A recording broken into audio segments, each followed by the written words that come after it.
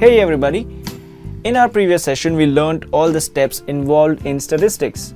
And today, we are going to learn preferably the analysis part of statistics. And what are we going to do in analysis? We are going to take a data set and we are going to learn about a value in that data set which will be the representative value, which means it will represent the whole data set. Just like a group leader or a class leader represents the whole class, or a president represents the whole country, similarly we have this value which will represent the whole data set. So here is the data about the total score secured by a student in 5 papers and each paper was out of 100 marks. Okay. Now the real question is which among these data values can we actually consider the representative value? And for the same, statistics provides us with many methods we will learn all those methods one by one and we will also see what are the characteristics of all those methods. More commonly, we analyze a data by finding its average. Okay, we must have heard, right? Average rainfall, the batting average of a batsman. Well, we sometimes also call this average as mean, all right? So what exactly we do in average or mean is we take the sum of all the data values and we divide it by the total number of data values. Uh, like in this case, we are going to add up 60 plus 70 plus 74 plus 78 plus 78 and there are total 5 data values because there are 5 papers right? So we are going to divide by 5 and what we get over here is 360 divided by 5 which is nothing but 72 and 72 is somewhere over here. So 72 is the mean. So we can say the average marks obtained in 5 papers is 72 and by that I'll be able to predict what kind of marks he must have got. So what can we say about the characteristic of mean is that it takes in consideration all the data values because we can clearly see we are actually adding up all the data values so it considers all the data values. Now at times I might not be interested in reporting average as my representative value. I might just be looking for a value which has the maximum frequency or which occurs maximum number of times. Like you know which is the most popular team or the maximum wickets taken by a bowler in many matches something like that okay? So over here the student has secured 78 marks in two papers as compared to the other marks okay? So i might be interested in just knowing this and such a way of reporting a value which has maximum frequency is called mode so in order to find mode, I don't really require all the data values. So unlike mean, this is different.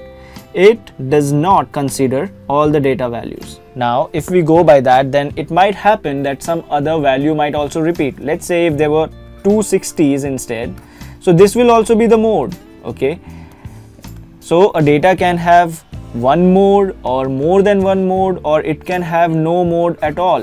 Now at times we want to take the representative value as the value which falls right in the middle of the data. We don't want to find the average, we don't want to find the value which has maximum frequency, but the value which falls right in the middle. That can be also done. So we look out for the centermost value. So in that case, when we have to look out for the centermost value, the first step that we have to see is we have to arrange our data. Now it can be arranged in an ascending or the descending order. Now, in this case it has already been arranged so I will keep it as it is. Now the second thing we have to see is if the number of data values are odd number of data values or even number of data values. Okay. Over here we have 5 papers so we have odd data values. So in that case what we do is we count the data values and we see what is the data value that falls right in the middle. So 74 is the centermost value. Now this way of reporting the centermost value as the representative value is called the median.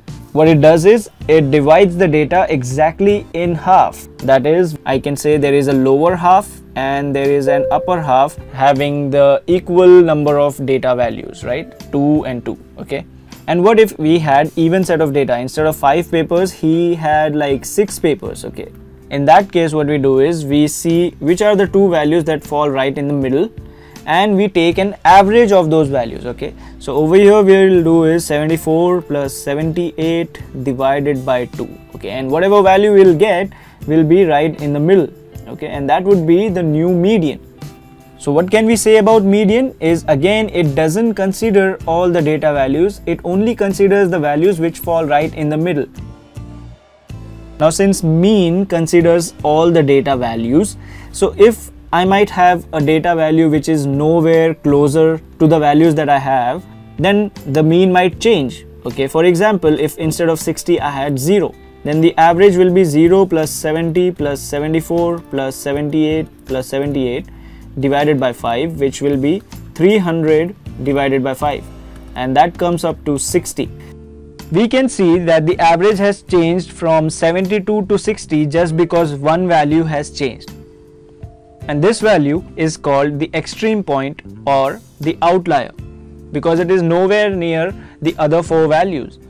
So what we can say is the mean gets affected by the outliers or the extreme values. How can we avoid this?